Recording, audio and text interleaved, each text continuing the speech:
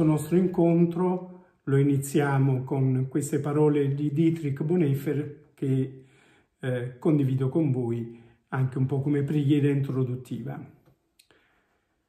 Da forze buone avvolto in modo fedele e silenzioso, protetto e miracolosamente confidente, voglio queste giornate vivere con voi ed entrare con voi nel nuovo anno. Quello vecchio vuol tormentare ancora il nostro cuore, ancora ci opprime il duro peso dei miseri giorni. O Signore, dona alle nostre anime impaurite la salvezza per cui ci hai creati. E porgi tu il calice pesante, quello amaro della sofferenza, pieno fino all'orlo estremo. E così noi lo prendiamo da te, grati, senza tremare, dalla mano tua buona e amata. Ma certo vuoi donarci ancora gioia, per questo mondo e per il chiarore del suo sole. Allora il passato vogliamo ripensare così l'intera vita nostra ti appartiene. Oggi fa ardere calde e chiare le candele che hai trasportato tu alla nostra oscurità. Conducici se si può di nuovo insieme. È ciò che noi sappiamo. Arde di luce la notte tua quando su noi discende il silenzio profondo, oh, lascia che odiamo quel timbro pieno del mondo, che invisibile si estende intorno a noi, di tutti i figli tuoi canto alto di lode. Da forze buone miracolosamente accolti, qualunque cosa accada attendiamo confidenti. Dio è con noi alla sera e al mattino e stanne certa in ogni nuovo giorno.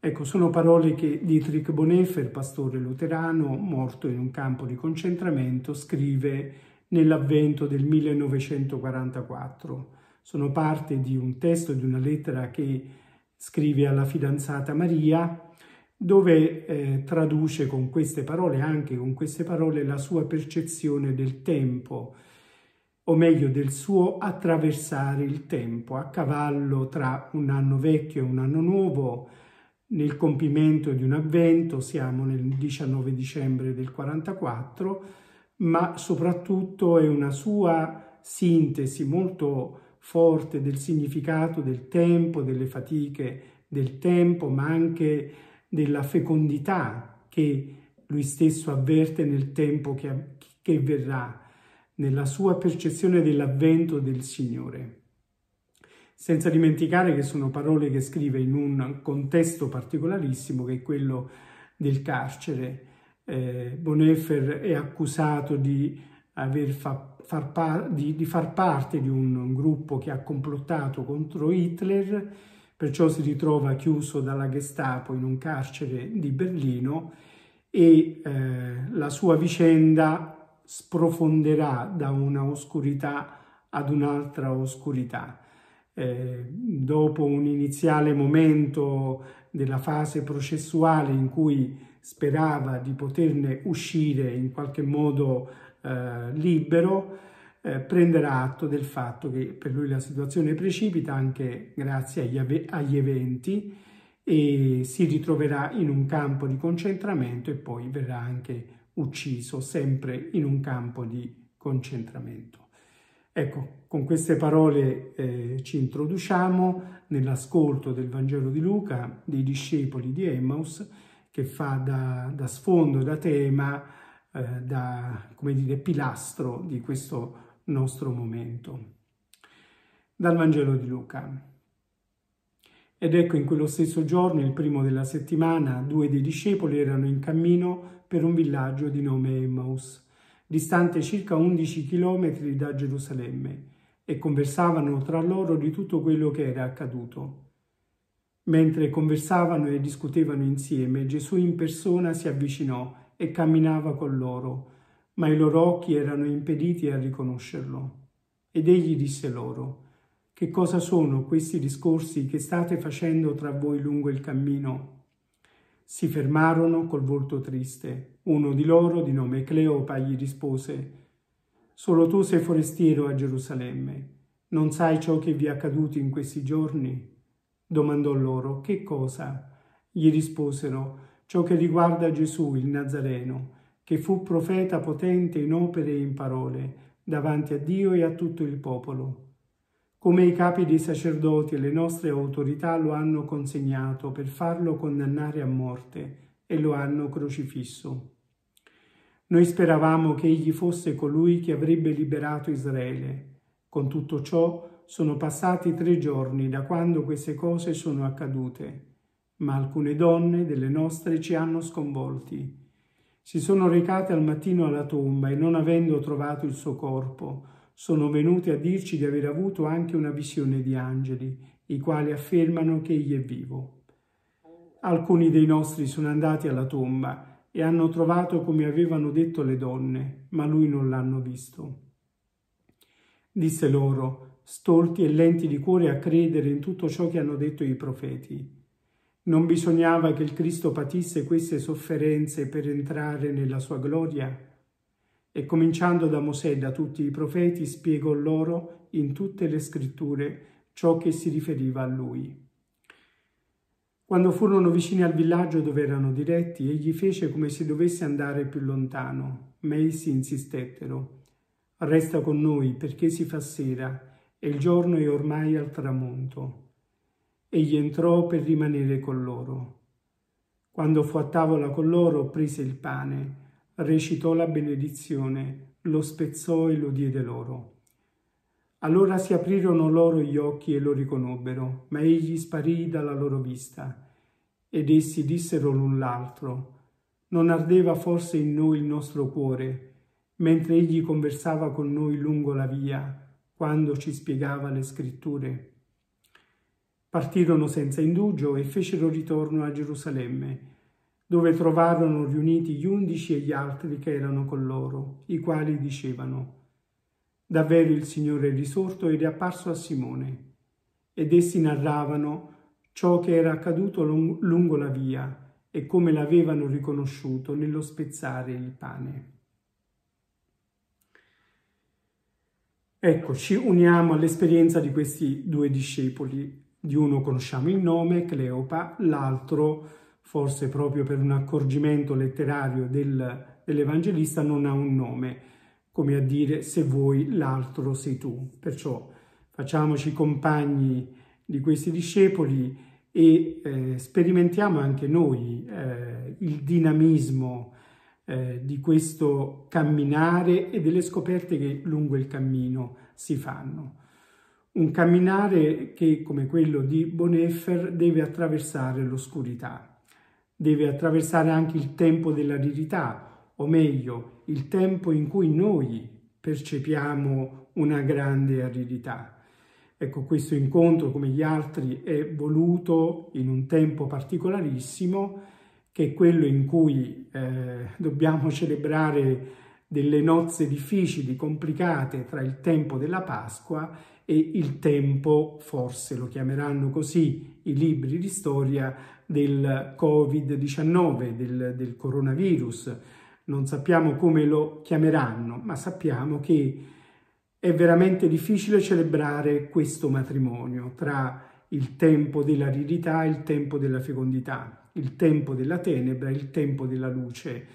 Ci ritroviamo eh, veramente e faticosamente anche a eh, cercare la luce un, nelle profondità, come dice qualcuno, con un'immagine usata e abusata, nelle profondità di un tunnel che sembra non avere sbocchi. Ma intanto questo è un tempo che va attraversato, come va attraversato un po' tutto il tempo della nostra vita, eh, con delle soste necessarie, sono le stesse soste che ci consentono di fermarci, di metterci in ascolto, di rifocillarci, di ristorarci per poi riprendere il cammino. Del resto non sarebbe possibile nessuna maturazione né della nostra umanità né della nostra fede né della vita delle nostre comunità se non accettiamo il dinamismo del camminare, non tanto di un camminare a vuoto, ma di un cammino che si muove in una direzione ben precisa, da un punto ad un altro. Un cammino che è percepito, sentito anche con grande passione come un cammino di liberazione. la nostra stessa fede è sempre alla ricerca di questa liberazione. Un cammino che ha un punto di partenza, che ha un punto di arrivo indefinito, non pienamente conosciuto, ma desiderato. Il camminare che in fondo fa la postura di un uomo, fa la postura di un uomo come fa la postura di un credente, più di quanto possa fare la postura di un uomo di un credente lo stare fermi. Questo è un primo aspetto interessante. Noi siamo soliti pensare anche un po' per una sensibilità comune che ciò che può fare la postura di una persona sia lo stare fermi, sia il sistemarsi, lo stare in maniera abbastanza immobile e comoda, senza che nessun arto, nessun muscolo, nessun nervo vada sotto tensione, eh, lo stare fermi eh, in una determinata condizione. E invece ciò che fa la postura di questi due discepoli, ciò che fa la postura nostra è proprio il camminare. Il camminare che ci eh, consente anche di imparare a camminare, di imparare a stare camminando.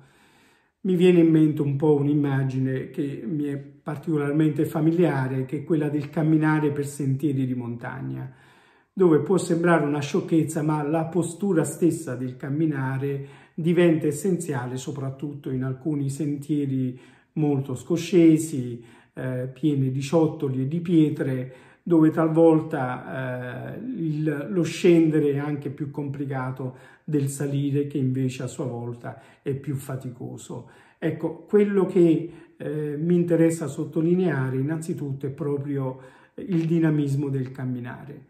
Un dinamismo non scontato, soprattutto in un tempo in cui tutto sembra essere come sospeso, in qualche modo paralizzato, fermo.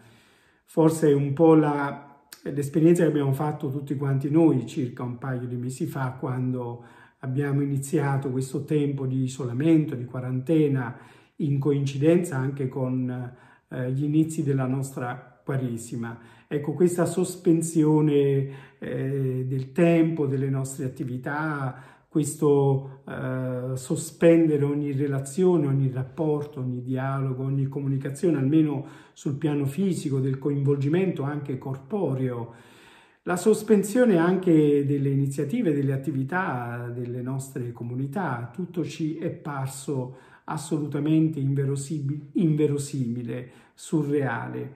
E eh, per quanto questo ci abbia stordito, nessuno di noi se l'aspettava e nessuno di noi era anche preparato a vivere, a celebrare e attraversare un momento del genere, però tutti abbiamo sentito un po' il bisogno di muoverci da quella situazione, non potendolo fare fisicamente più di tanto, lo abbiamo, abbiamo iniziato a farlo in maniere anche molto diverse, creative, bizzarre, in qualche caso anche, come dire, troppo bizzarre, pure per noi eh, sacerdoti è stata questa l'esperienza, un'esperienza da accogliere anche con una certa indulgenza. Però ecco, c'è venuta voglia, una voglia irrefrenabile di metterci in movimento. Eh, tuttavia, avendo eh, chiaro che questo camminare ha bisogno di un punto d'appoggio. Un punto d'appoggio che eh, per questi due discepoli è il conversare.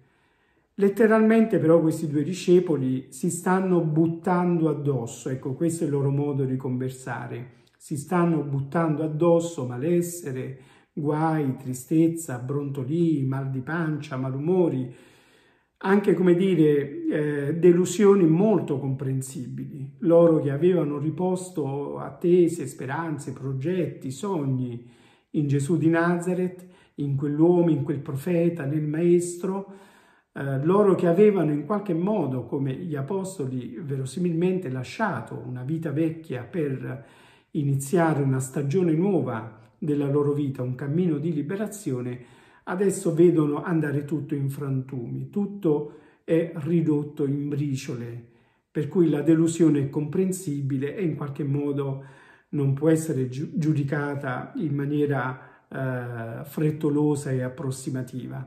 Ecco, chiediamoci sempre noi come avremmo vissuto quella determinata situazione. Però quello che stanno facendo è il buttarsi addosso il loro malessere, piuttosto che raccontarsi attese, piuttosto che proiettare lo sguardo sul futuro, su quello che eh, potrebbero fare, sul luogo che potrebbero raggiungere, su eventuali nuovi progetti da costruire, si stanno raccontando il passato e lo stanno facendo con molta, molta amarezza. Ecco, un uh, modo, come dire, dialettico di confrontarsi che può interpellare in maniera pungente provocatoria anche il nostro modo di, di conversare a tanti livelli, a tanti livelli. Ecco, io penso che eh, mentre abbiamo riscoperto eh, il bisogno di dialogare, di conversare tra di noi, eh, seppur servendoci, come dire, della mediazione dei social, come avviene anche in questo caso, eh, dobbiamo anche accorgerci eh, di quanto possa correre il rischio di essere inquinata, sporca, la nostra conversazione, il nostro conversare. Cosa ci raccontiamo solitamente? Cosa ci diciamo? Qual è l'oggetto delle nostre comunicazioni? Al di là di momenti come questo, di momenti liturgici nei quali necessariamente, e direi anche per un dovere morale, di responsabilità che abbiamo nei confronti degli altri, al di là, dicevo, di questi momenti in cui la comunicazione cerca di elevarsi, di alzare il tono, molto spesso il nostro conversare tra di noi eh, striscia no? eh, su livelli molto bassi, è una conversazione che è spesso eh, toccata dal, dal morbo eh, della lamentazione, eh, della polemica. Avviene veramente in tanti contesti, in tanti ambiti, eh, talvolta anche nelle nostre comunità, nei nostri momenti di ritrovo, eh, il discorrere, il parlare tra di, lo, tra di noi sembra eh, non saper alzare il tono, non saper levarsi in alto. Diventa un discutere in cui il malumore, il malessere di uno viene buttato sulle spalle dell'altro, come a dire questo peso che mi porto lo devi portare anche tu, infliggendo talvolta anche punizioni insensate sulle spalle degli altri senza che abbiano nessuna colpa. Ecco, questo discutere tra di loro è fatto di, di, di, di, questa pesantezza, di questa pesantezza che chiaramente rende il loro camminare anche un camminare un po' strisciante, trascinato. Ecco, io credo che sia importante intanto cercare sempre di più occasioni per conversare, per discutere, per dialogare, possibilmente eh, non cediamo troppo alla seduzione dei social, ma recuperiamo i nostri incontri face to face piuttosto che via Facebook, eh, incontri carnali dove per quanto siamo chiamati a mantenere delle, delle distanze, almeno riusciamo a guardarci negli occhi e ad ascoltare le nostre voci, ma anche scegliendo quello che dobbiamo raccontarci, eh, anche imparando a leggere la storia, che cosa è accaduto, che cosa sta accadendo, eh, che cosa è accaduto lì a Gerusalemme. Eh, certo, la loro lettura è una lettura tutta ferma al venerdì santo, cosa che accade spesso anche a noi. È una lettura di quegli eventi che non vuole assolutamente tener conto eh, di una novità, di una novità che era stata annunziata dai profeti, di cui Gesù stesso aveva ripetutamente parlato, ma di una novità che è accaduta e che alcune donne testimoniano. No, non si vuole tener conto di questo. Una lettura degli eventi della storia che cede eh, il passo al pessimismo, al disfattismo, alla rassegnazione. Vedete anche la lettura di questo nostro tempo, di questo nostro momento storico particolarissimo inedito, eh, potrebbe essere vittima di questo modo di leggere la storia oppure potrebbe essere vittima di un modo ingenuo di leggere gli eventi, quel modo ingenuo che segue l'adagio eh, che personalmente mi convince poco, dell'andrà tutto bene. Ecco, può essere di aiuto, certamente di aiuto ai bambini, anche perché elaborino eh, con la loro freschezza e la loro innocenza un momento comunque doloroso, ma per noi eh, una lettura della storia e di questi eventi non può cedere al, ad un romanticismo eh, aleatorio e infondato, ma soprattutto non può cedere ad una lettura tutta ripiegata sul venerdì santo. Sapete, sappiamo che gli stessi evangelisti rileggono tutta la loro vicenda, il loro essere stati compagni di strada di Gesù di Nazareth alla luce della Pasqua. È quella, quella luce che consente loro di rileggere e reinterpretare la storia. È anche quello che sta accadendo adesso. Dobbiamo leggerlo, rileggerlo e continuamente reinterpretarlo. Sapete, di, in queste settimane, in questi due mesi, tanti hanno testimoniato un esercizio nostalgico che in qualche modo serviva anche a occupare le giornate, che era quello di andare a tirar fuori un po' di foto del passato. È un esercizio nostalgico e eh, per certi aspetti che infliggeva ulteriore dolore, no? il pensare a tempi belli di una volta che nella nostra percezione non si ripeteranno mai più. Ecco, questo non è un modo sapiente e né tantomeno è un modo cristiano di leggere la storia. Una storia che non va subita, va letta, va capita fin dove c'è possibile capirla e direi che tra l'altro questa grande cassa di risonanza che è stato ed è a tutt'oggi il silenzio che avvolge la storia, le nostre comunità, i nostri paesi, le nostre parrocchie, le nostre case, ecco questa grande cassa di risonanza ci aiuta a leggere in maniera ancora più chiara la storia e quello che la storia ci vuole raccontare. Anche, ripeto, da questa necessaria rilettura del passato alla luce della Pasqua, che è capace di avere una visione del futuro. Andrà tutto bene, andrà, cioè una visione del futuro che andrà laddove noi vorremmo farla andare, fatal- non certo cedendo a un fatalismo eh, stupidotto e ingenuo, ma assumendoci la responsabilità della storia. Intanto anche la responsabilità della risoluzione di certi problemi. Anche questo noi non andremo ad accodarci eh, dietro quelli che dicono che questa pandemia e questa storia, tutto quello che è accaduto, eh, a Gerusalemme, nelle nostre città, nel mondo, è eh, da attribuire a Dio che ci sta punendo perché ci siamo comportati male, letture che talvolta fanno anche autorevoli eh, personaggi nel, nel, nostro mondo, ma che non hanno alcun fondamento, eh, non faremo questa lettura né eh, vogliamo a tutti i costi attribuire a Dio la risoluzione dei problemi.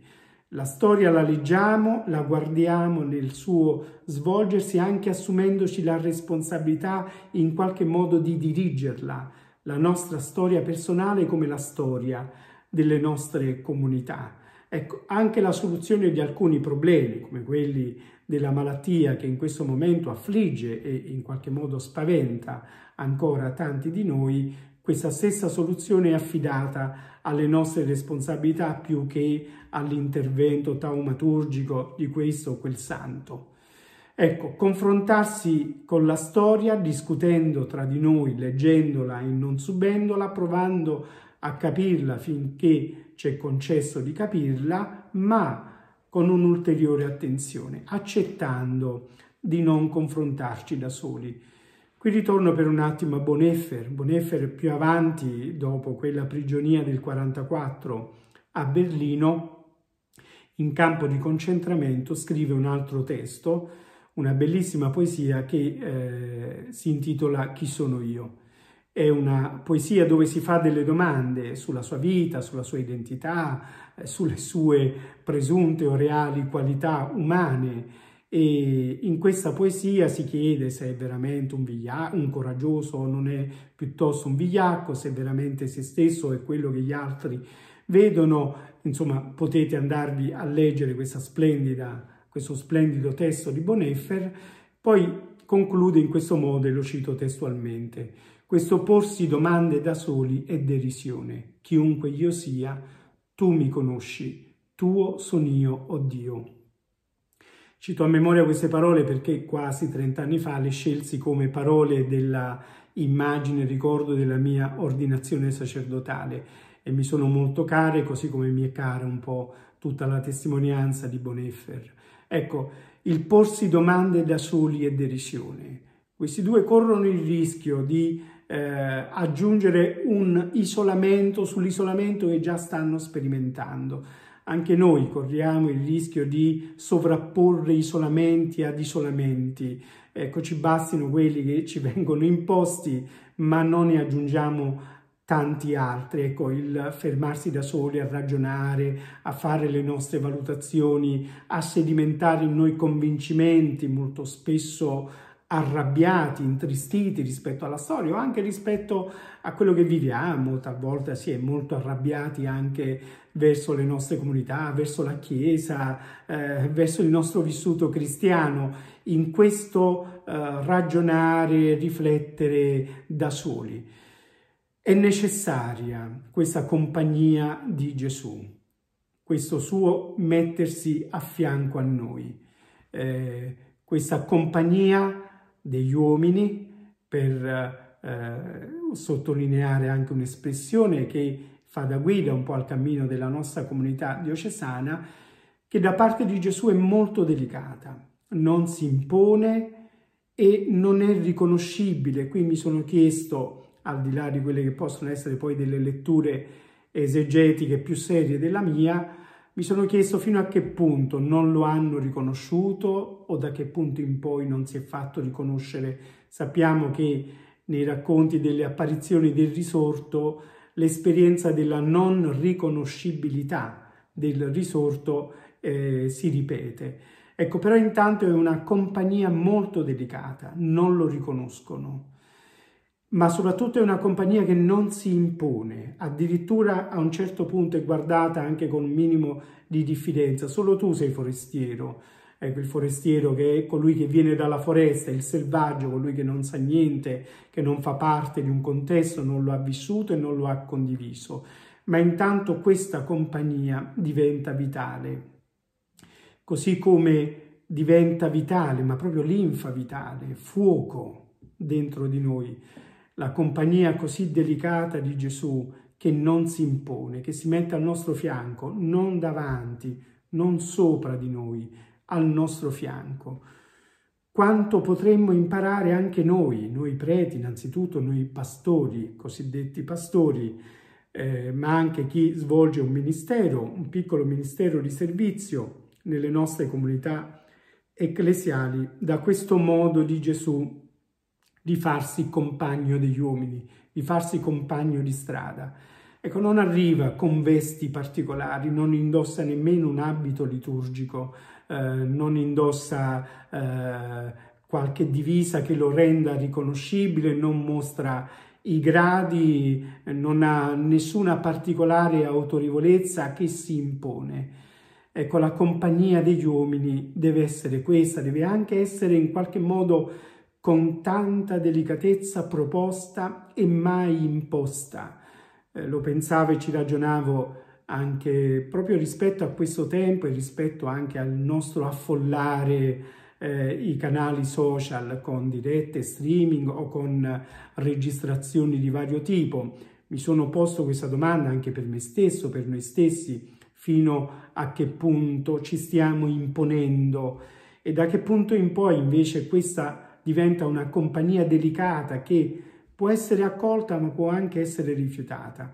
È qui che i due discepoli accettano questo ulteriore punto d'appoggio del loro camminare, che è la compagnia di Gesù, che è una compagnia che ha una sua eh, efficacia, una sua materializzazione eh, concreta, che fa proprio eh, di questa presenza un punto d'appoggio, ma anche eh, qualcosa che rende più spedito il camminare di questi due, anche nella possibilità di un ripensamento della direzione. Sappiamo che poi la direzione che prenderanno i due sarà tornare a Gerusalemme, come Francesco che viene chiamato a tornare ad Assisi per ripensare la sua vita e la sua storia, la sua vicenda umana e la sua sequela del Signore.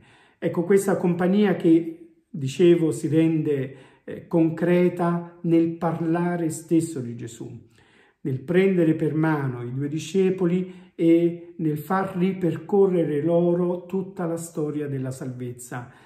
Qui ripenso alla bellissima madre di tutte le veglie che è la veglia pasquale, eh, dove tutta la prima parte, dopo il lucernario, dopo l'exultet, è la grande liturgia della parola, dove la Chiesa viene presa per mano e accompagnata in tanti passaggi di questa storia che ci riguarda, perché sia nuovamente compresa, ricordata, reinterpretata in maniera sempre più illuminata.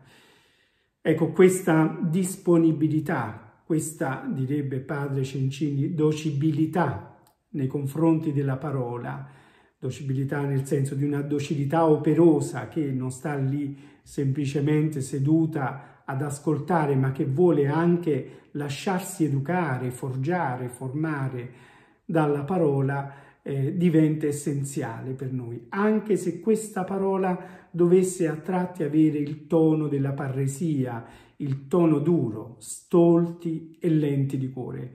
Ecco, Gesù a un certo punto, il risorto, si rivolge ai due discepoli in questo modo. Non è evidentemente un richiamo, un rimprovero ad un deficit intellettuale, è un richiamo che è chiaramente anche uno scuotimento rispetto a una lentezza dei cuori, una lentezza esistenziale. È una lentezza esistenziale che riguarda la vita di queste due persone, ma che potrebbe riguardare la nostra vita. Intanto eh, sento rivolto a me questo richiamo e che potrebbe riguardare anche la vita delle nostre comunità.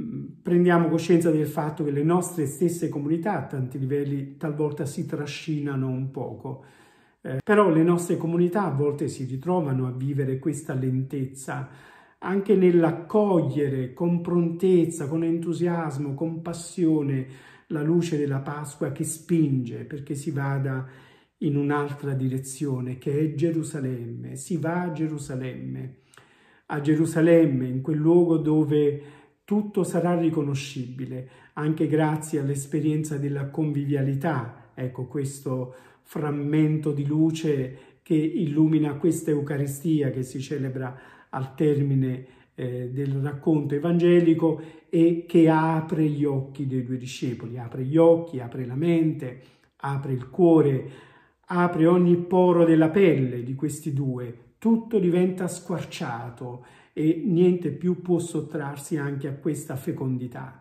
a questo necessario eh, passaggio dall'oscurità alla luce, dall'aridità alla fecondità.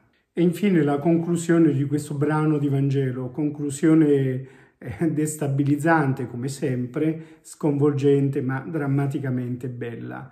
Gesù eh, è accondiscendente rispetto alla richiesta che fanno i due discepoli, si ferma con loro, si ferma a tavola con loro in questa esperienza di convivialità fraterna, prende il pane, recita la benedizione, spezza e distribuisce il pane ai due discepoli ai quali si aprono gli occhi al punto tale che lo riconoscono, ma in quello stesso momento eh, Gesù sparì dalla loro vista che cosa accade ai due discepoli? Potrebbero sprofondare nuovamente nella delusione, nell'aridità, nell'oscurità, nello scoraggiamento, ancora, ancora una volta, invece no. E invece no. Intanto c'è questa, eh, potremmo dire con un termine eh, tecnico, una elaborazione anche di quello che hanno vissuto nuova, una reinterpretazione nuova e anche questa lettura finalmente del cuore, questo ascolto del cuore. Non ardeva forse in noi il nostro cuore mentre egli conversava con noi lungo la via E poi questa partenza senza indugio, questo ritorno a Gerusalemme. Non c'è più tempo per leccarsi le ferite, non c'è più tempo per piangersi addosso, non c'è più tempo per buttarsi addosso il proprio lamento. C'è un tempo nuovo che tra l'altro viene colto proprio nel tempo dell'assenza di Gesù.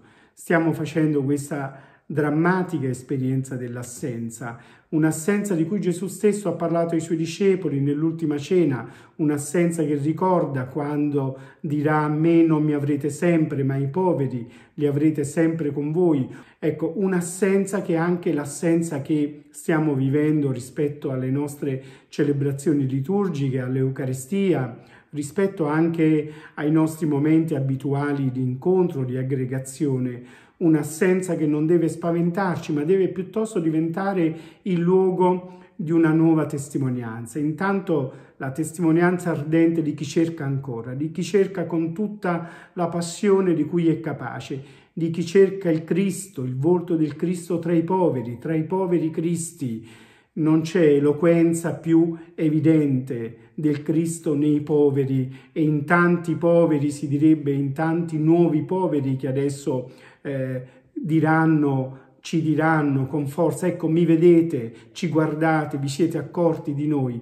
È un'assenza anche che ci chiede di testimoniare gioiosamente il Vangelo a chi sperimenta questa assenza da tanto tempo e aspetta da noi una parola incoraggiante, una parola rassicurante, non retoricamente rassicurante, ma la parola, la testimonianza vera di chi lo ha incontrato e desidera testimoniarlo.